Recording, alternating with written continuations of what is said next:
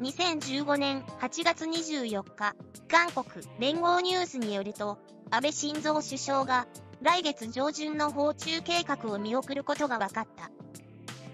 安倍首相は来月3日に北京で開かれる抗日戦争勝利70年記念式典に合わせた中国訪問を検討してきた。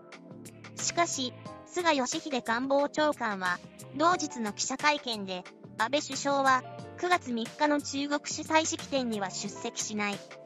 国会の状況などを踏まえて判断した結果だと明らかにした。これについて、韓国のネットユーザーは、以下のようなコメントを寄せている。出席しないではなく、出席できないのでは？分かっている。米国の機嫌を損ねないためでしょ？日本は親米路線に乗っている。